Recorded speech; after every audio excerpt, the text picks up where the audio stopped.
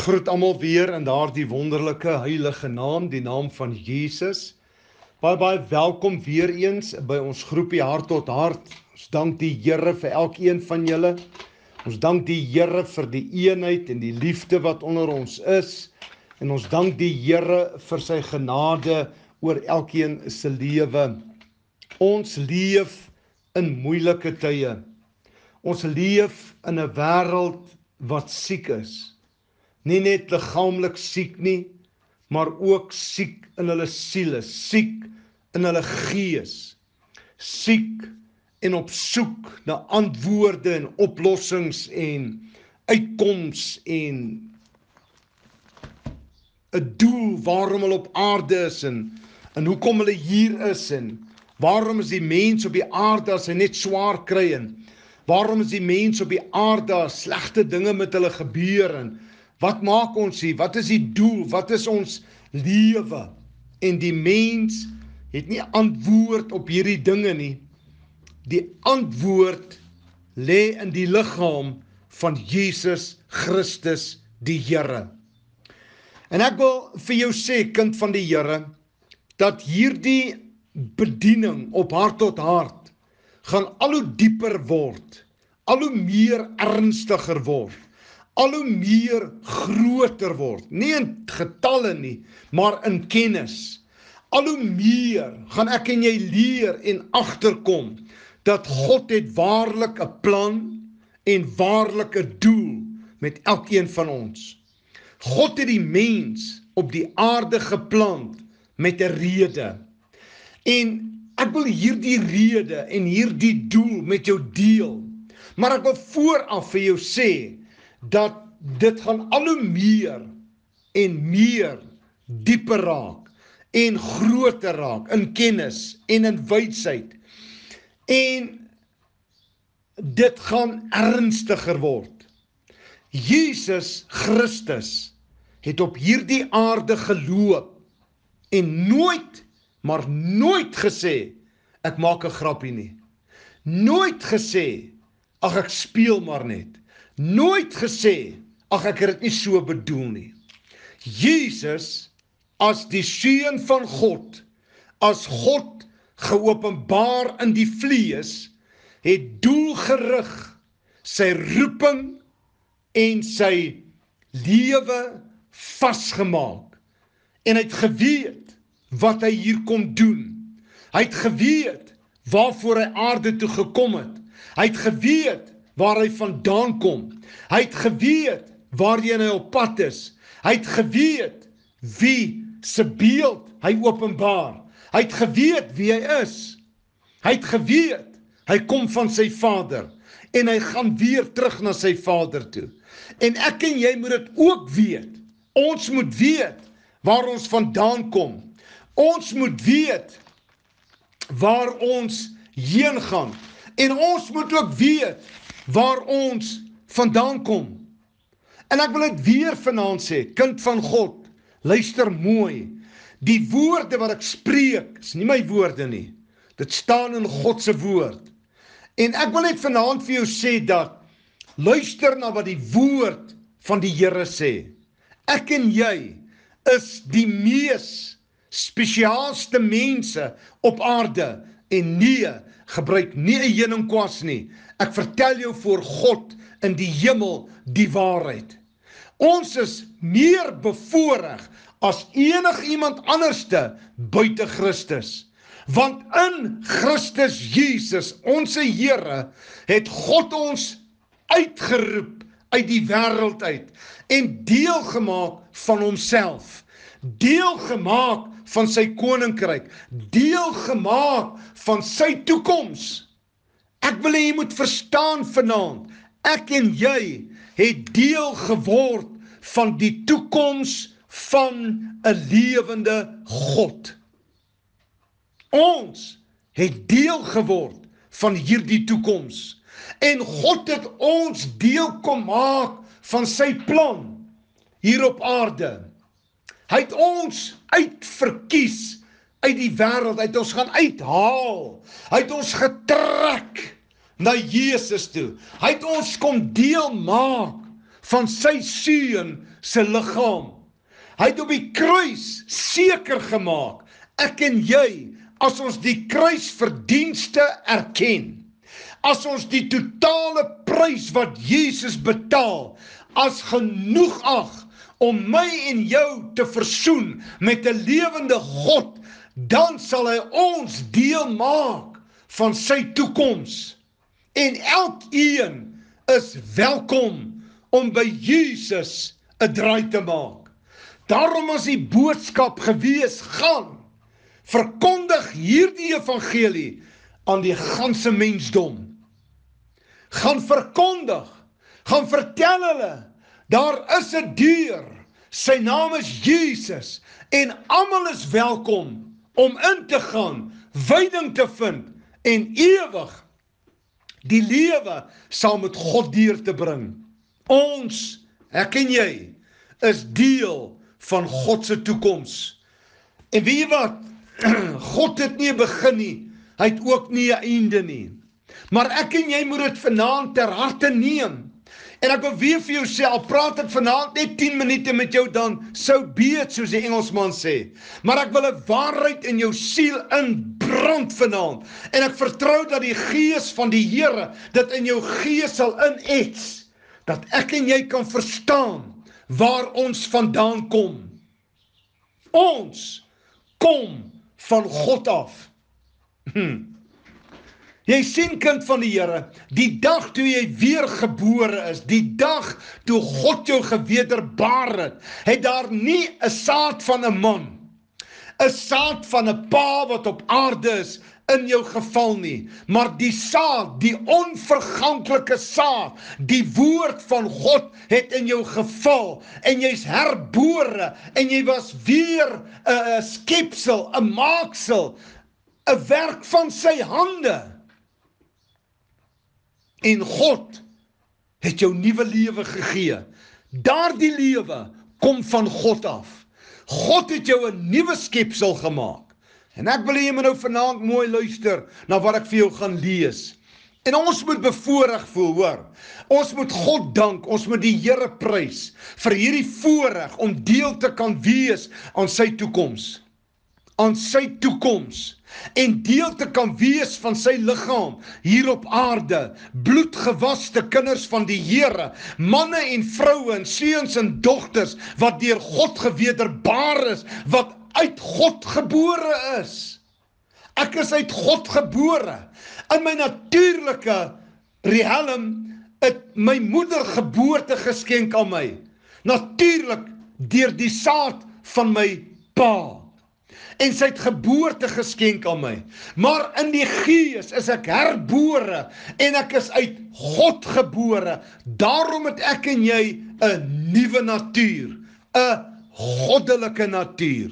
Daarom sê die skrif, ons moet hierdie roeping en hierdie verkiesing wat God aan ons gegee het en ons uitgeroep het en ons het sy stem gehoor Ons wat na Christus toe gegaan het, wat gehoor het Golgotha was genoeg vir ons gewees. Ons is toe uit God gebore. Uit God gebore. Kyk sê die woord, alles het nuut geword. alles het nuut geword. Ek is 'n nuwe skepsel. I'm a new creation. I'm a new creature. I'm a new proof of the handiwork of the Most High God. He created me in a very specific image. A very specific image. Ek is uit God gebore. Ek dra 'n ander beeld nou in my. Iets anderste werk nou hier in my. En liggaam van Jesus Die wêreld smag na antwoorde. Die wêreld smag na oplossings. Die wêreld smag na iemand wat vir hulle kan vertel wie is Jesus. En nie net kan vertel nie, maar ook kan demonstreer wie is Jesus. Jesus het die werke van sy Vader kom openbaar en daarom kon hy getuig van sy Vader en God wil Christus se werke deur ons openbaar. Sodat die wêreld kan sien en glo dat Jesus Christus waarlik die seun van God is. Ons het 'n verantwoordelikheid. Ons het 'n verantwoordelikheid. Maar waar kom ek vandaan? Waar kom ek geestelik vandaan? As jy jou Bybel byderhand het, blaai vir my na Hebreërs 2 toe, Hebreërs 2. Halleluja. Ek gaan lees vanaf vers 10. Ag, daar's so baie ding om te praat uit daai brief van die Hebreërs of die preek of die boek, noem dit wat jy wil. So diep dinge daar. Maar kom ons kyk net na twee verse want dit het hom betaam terwille van wie alle dinge deur wie alle dinge is as hy baie kinders na die heerlikheid wou bring om die bewerker van hulle saligheid deur lyde te volmaak deur die lyde van Jesus is my en jou saligheid volmaak gemaak daarom het ek gisterand vir jou gesê niemand kan jou uit God se hand uitruk nie. Niemand kan jou uit Jesus se hand uitruk nie. Jou toekoms is 'n sekerheid in Christus Jesus ons Here. Solank jy daardie roeping tot redding in Christus jou beywer om dit vas te maak en dit jou deel te maak, sal jy ewig deel bly van die ewige plan van God met jou lewe. Ewige plan. Onthou net, ek en jy is deel. Jy moet mooi hoor aan God se toekoms. Ons is deel aan sy toekoms. Hy sê in vers 11, nou moet jy baie mooi luister. Hoor kind van die Here, luister mooi. Want hy wat heilig maak, sowel as hulle wat geheilig word. Luister mooi. Ek gaan dit weer sê. Hy wat heilig maak. Wie is hierdie hy? dis Jesus. Hy wat heilig maak, sowel as hulle wat geheilig word. Hoe word ons geheilig? Deur die bloed en deur die wedergeboorte. Hoor wat sê die skrif dan? Is almal uit een. Ons kom almal en is uit almal van ons uit een. Dis God. Halleluja. Om hierdie rede skaam hy, dit is Jesus, hom nie om hulle broeders of susters te noem nie. Ag, ek wens so, ek kan net hier vir so 'n paar maande stil staan oor by hierdie skrif. En ek ek ek vergroot nie nou nie. Dis waaroor die hele evangelie gaan. Dis waaroor die hele boodskap gaan. Dis waaroor die hele plan van God gaan om vir hom 'n liggaam bymekaar te kry, uitverkies, bloedgewas, geheilig, sonder gebrek voor God te staan. Halleluja! Om geheilig te wees deur die bloed van die lam wat verkaar nadat hy ons geheilig het. Ons is almal uiteen. Uiteen naamlik God. Ons is een. Ons kom uit God uit. Ons is uit God gebore. Halleluja. Kind van die Here, ek wens so almal wil dit begryp. Ek en jy is uit God gebore. Daarom sê Petrus immer sy goddelike krag immers sy goddelike krag. Hm. Het hy daardeur al die beloftes my en jou deelgenote gemaak aan sy goddelike natuur. Die hele saligheidsplan van God, luister mooi kind van die Here. Die hele saligheidsplan, die hele lyde van Jesus Christus is om my en jou saligheid volmaak te maak. Ek en jy kan niks byvoeg om salig te word en gered te word nie. Absoluut niks nie. Die lyde van Jesus het 100% seker gemaak dat ek en jou se saligheid deur sy lyde volmaak gemaak is.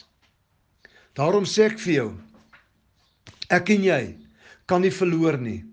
Ons kan nie Ek kan nie verloor nie. Jy kan nie verloor nie. Daarom het ek vir jou so 'n paar dae terug gesê voordat die nuwe net na die nuwe jaar aangebreek het, het ek vir jou die volgende gesê, onthou net mooi. Jy moenie omkyk na al die eis van jou lewe nie, want God gaan in hierdie jaar die eis wat jy gehad het in 'n lokval intrek in jou lewe en dit vernietig en jy gaan op die kop van die slang trap.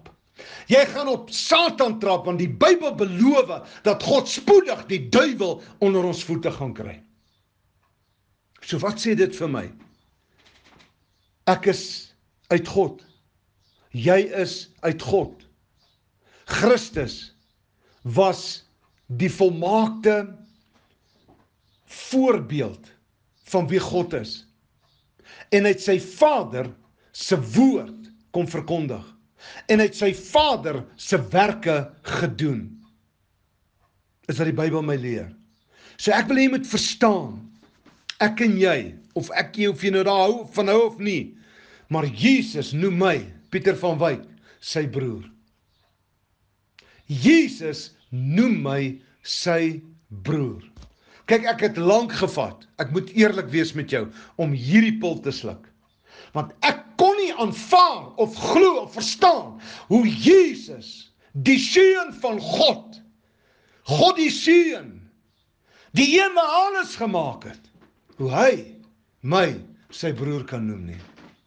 Kon dit nie verwerk nie, ek kon dit nie verstaan nie. Maar dit staan geskrywe. Ek en hy is albei uiteen. Ek wil ek wil vir jou sê vanaand, Jy moet my maar net lief hê of my los, een van die twee. Ek wil vanaand vir jou sê, ons is waarlik die mees bevoordeelde mense op aarde om deel te kan wees van God se toekoms. God se toekoms. En ek gaan dit weer vir jou sê, eintlik gaan ek dit aanhoudend vir jou sê kind van die Here, sodat dit in jou gees kan insink. Ek wil dit aanhoudend vir jou sê. Ek en jy is deel van God se plan. En God het nie beplan dat ek en jy moet ondergaan nie. Nie beplan ons moet ondergaan nie. Maak nie saak wat die hel ons kan toe gooi, omstandighede in ons lewe en die stryd wat ons teen beklei nie. Ek sê mos maar altyd vir mense, ek vra baie keer, dan sê ek, "Wil julle groot oorwinnings behaal hierdie jaar?" Dan sê hulle, "Amen, ons wil." Ek sê dan moet jy groot gevegte veg. Jy kan nie 'n klein geveg hê veg en dan 'n groot oorwinning noem nie. Hoe werk dit? Hm? As ek nou byvoorbeeld 'n seun van 14, nee nee nee, die seun van 14 is al 'n bietjie te groot vir my. Goed, kom ons kyk maar na 'n seentjie van 6 jaar. En ek pot hom sommer so met die hand en ek klap hom onderste bo. Het ek iets bereik, het ek iets bewys? Niks bewys nie. Hoe kan ek nou staan en sê ek het nou groot oorwinning behaal? Regtig? Is dit hoe mense groot oorwinnings behaal? Maar as ek nou voor Goliat gaan staan soos 'n Dawid. Dit is 'n groot oorwinning. Dit is 'n groot oorwinning. Ek hoop jy verstaan die metafoor. Ek hoop jy verstaan wat dit is om groot oorwinnings te behaal. Ek hoop jy verstaan dat groter is hy wie in ons is dan hy wie in die wêreld is. En die groter een in ons sal sorg dat ek en jy die oorwinnings behaal. Die wêreld daar buite soek antwoorde. Hulle soek antwoorde. Hulle vra: "Waar is julle God?" Terwyl ons God tog in die hemel is, sê die psalmdigter. Wat gaan ek en jy doen omtrent dit? Wat gaan ek en jy doen om daardie mense en nou wil ek vir jou mooi vertel. Prediking. Almal preek. Maar waar is die bewys dat Jesus Christus is die seun van God? Die heel eerste bewys wat ek en jy veronderstel is om aan te bied dat hy die seun van God is, is om in 'n eenheid te leef, in 'n eenheid te aanbid, in 'n eenheid vir God te werk, in 'n eenheid die Here te dien. Dis ons eerste bewys. Want jy, hoekom sê ek so? Kom ek sê vir jou hoekom sê ek so? En dan gaan ek maar begin afsluit en uh, ons gaan môre aand verder gaan. Maar gaan ek vir jou sê hoekom sê ek so? Die Bybel sê en ons het hierdie skrif al seker 100 keer gelees, as dit nie meer was nie. Maar gaan hom nou weer lees ter wille van die wie dit nie weet nie. Jesus bid en hy sê Dis hoekom ek sê hierdie hart tot hart wat God mense bymekaar voeg is op antwoord van Jesus se gebed. Want die Here is besig om ons afhangend, maak nie saak van wat 'n kerkdenominasie vandaan kom nie. Is God besig om een te maak en ons gebede te antwoord. Ek en jou se gebede word beantwoord omdat God ons begin vasmaak in 'n een eenheid. Hoor wat bid Jesus. Hy sê maar ek bid nie vir hulle alleen nie, ook vir die wat deur hulle woord in my sal glo, dat hulle een mag wees net soos u Vader in my en ek in u dat hulle ook in ons een mag wees, sodat die wêreld kan glo dat u my gestuur het. Hierdie is groot woorde uit die mond van Christus. Fenomenaal fenominale woorde sodat die wêreld kan glo dat Jesus gestuur was deur God. Dis die eerste bewys. Is eenheid, een liggaam, een gees, een doop, een geloof, een Here, een God en Vader in almal, oor almal en met almal. Eenheid.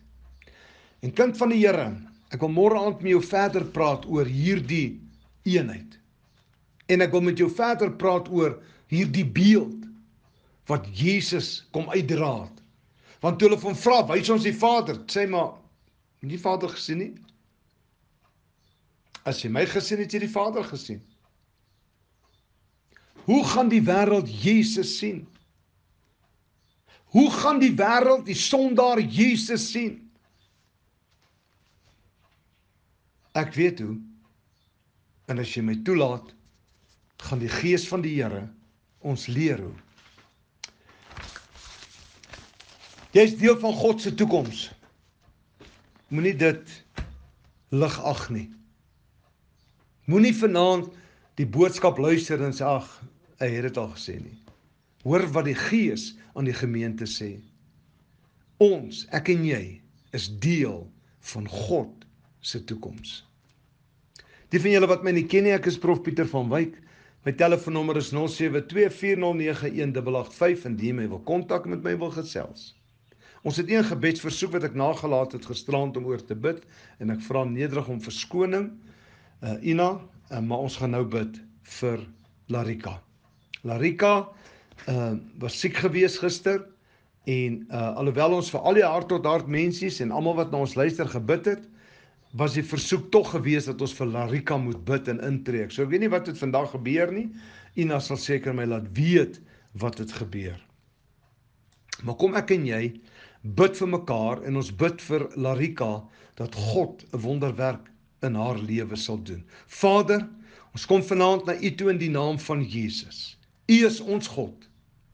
Ons ken geen ander. Ons wil geen ander ken nie. U is ons God. U het Jesus gestuur in hierdie wêreld om u hart aan die mens te openbaar. En Here, Jesus het ons gestuur, net soos u hom gestuur het om Jesus se hart te openbaar. Ek wil bid vir hart tot hart vanaand en elkeen wat deel is en elkeen wat na ons luister deur middel van die boodskappe wat die wêreld oorgaan. Here, dat U ons spoedig sal leer wat dit is om waarlik 'n kind van die Here te wees. Die verantwoordelikheid Vader wat daarmee gepaard gaan. Here ek wil bid dat ons hierdie woorde, ons is deel van u toekoms, dat u Gees dit lewendig in ons harte sal maak en dat ons in alle opgewondenheid u sal begin dien soos nog nooit vantevore nie. En Here, ek weet hart tot hart dien u. Maar Here, ek wil bid dat hulle nog meer ywer aanwend, nog vuriger word vir Jesus en sy lewe wat hy afgelê het op Golgotha. Vader word verheerlik deur elkeen van hierdie mense se lewens, ook in almal wat na ons luister. Openbaar die toekoms. Die toekoms saam met U aan ons. Ons dankie daarvoor in Jesus naam. Amen en amen. Kind van die Here met 'n wonderlike aand. Dis die Here wil en ek lewer gesels ons môre aand weer. Mag die Here hierdie woorde wat ek vanaand tot jou gespreek het diep in jou hart in ets. Laat dit deel word van jou hele wese en met aanwending van alle ywer maak jou roeping en jou verkiesing vas in Christus Jesus. Met al my liefde in die Here groet ek jou vanaand tot môre aand.